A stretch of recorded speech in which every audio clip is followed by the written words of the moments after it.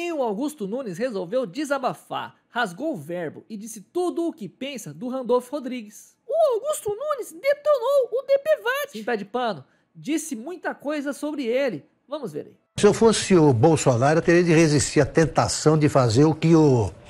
o de eh, encontrar uma saída que foi desenhada aí pelo Zé Roberto Guzzo. É, apareceu uma cobrança desse tipo, assim, você tem 72 horas para explicar isso, isso é manda andar.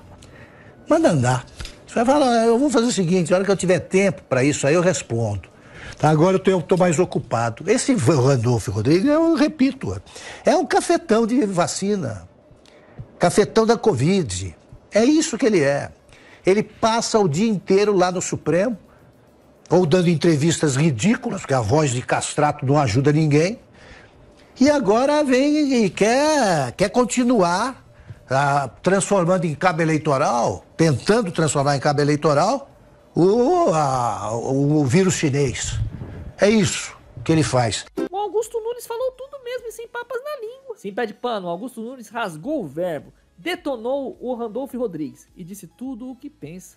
Mas e você que assiste esse vídeo? Qual a sua opinião sobre a declaração do Augusto Nunes? Você concorda ou discorda? Deixe sua opinião nos comentários, quero saber. Também é muito importante você se inscrever aqui no canal para mais vídeos como este aqui. Recomenda meu canal! Sim, Pé de Pano. Inscreva-se no canal do Pé de Pano, youtube.com patinha de pano. Ali ele faz vídeo todo dia e defende o Capitão Bolsonaro. E as outras redes sociais passa aí embaixo.